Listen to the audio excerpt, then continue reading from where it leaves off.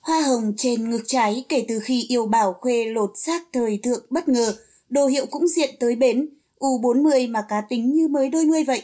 Quý vị khán thính giả thân mến, vốn trung thành với style nữ tính nhẹ nhàng, mới đây Hồng Diễm đã có màn lột xác chất lừ Bộ phim Hoa hồng trên ngực trái đang đi đến hồi kết, không nói đến tính cách giữa Khuê và Hồng Diễm có giống hay không, mà xuyên suốt bộ phim có thể thấy cả hai đều khá đồng điệu với phong cách thời trang.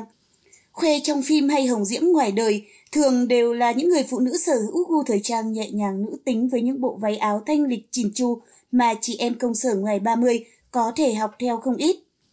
Vốn trung thành với những set đồ đơn giản, mới đây Hồng Diễm khiến công chúng bất ngờ với màn lột xác thời thượng, cá tính hơn hẳn.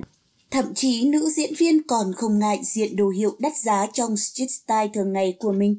Chỉ với cây đồ đen cùng áo blazer kẻ nhìn Hồng Diễm đã khác hẳn, cô còn buộc cao tóc khoe trọn gương mặt thanh tú trẻ trung của tuổi 37. Cao tay hơn cả là phụ kiện vòng tay to bản xuyệt tông với áo laser, Hồng Diễm thu hút với hình ảnh quý cô công sở thanh lịch mà vẫn sành mốt với set đồ này. Tưởng đâu luôn trung thành với combo quần vải cùng với áo blue, điệu đà, cũng có một ngày Hồng Diễm chơi hẳn jean rách cùng bốt cao quá gối thời thượng, ngút ngàn thế này. Nhưng tất cả chưa là gì với màn lên đồ phá cách, khác xa với style thường ngày của Hồng Diễm. Cô gây bất ngờ với set đồ đậm chất thể thao, quần ống bo gấu cùng với áo phông. Đôi sneaker và mũ lưỡi chai xuyệt tông càng tăng nét năng động cá tính cho hình ảnh của nữ diễn viên U40.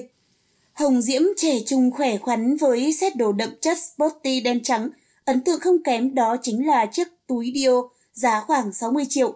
Đến cả trà tiểu tam Lương Thành cũng vào thả tim khen ngợi, hay cả cô bạn tình địch một thời trong phim cả một đời ân oán, diễn viên Lan Phương cũng phải tấm tắc khen. Thật sự mà nói chưa bao giờ Hồng Diễm lại lên đồ chất ngất thời thượng như thế này. Đã quá quen với một hình ảnh Hồng Diễm nhẹ nhàng nữ tính. Nay nữ diễn viên lại thể hiện một Hồng Diễm hoàn toàn khác. Chất chơi thời thượng ngút ngàn, khiến công chúng đi hết từ ngạc nhiên này đến bất ngờ khác. Nhiều người đã đùa rằng kể từ khi yêu anh Bảo thì chị Khuê bắt đầu thay đổi rồi. Cảm ơn quý vị và các bạn đã quan tâm theo dõi. Quý vị hãy bấm đăng ký kênh tin tức 24 giờ TV để theo dõi mỗi ngày. Chúng tôi sẽ liên tục cập nhật và cung cấp những thông tin nổi bật nhất. Quý vị hãy nhớ đón xem nhé. Xin chào và hẹn gặp lại.